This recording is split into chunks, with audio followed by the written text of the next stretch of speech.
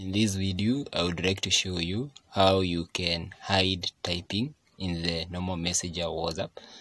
So just follow step by step and you'll be able to fix that problem with a simple step. What you're required to do basically is just click this three dotted icon in the upper right hand side of your WhatsApp, then getting into your WhatsApp settings. Then you just need to come to where we have the option privacy, which is here, which I have highlighted here.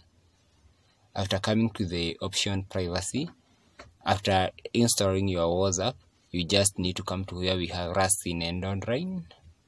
So in order to make sure that you have fixed this problem once and for all, just choose to show last seen to nobody.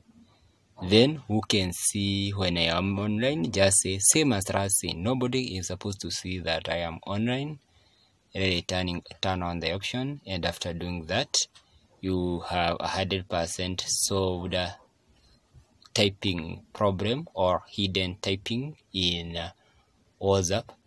So basically, thank you for watching. Please don't forget to give the video a thumb up and also a subscription so that you not miss out any of my future alluring content like this. Thank you and uh, bon appetit. So the simple is just the process is just simple.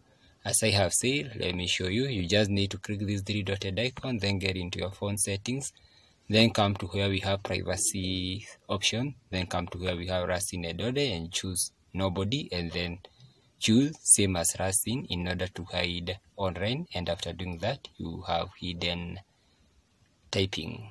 Thank you and bon appetit.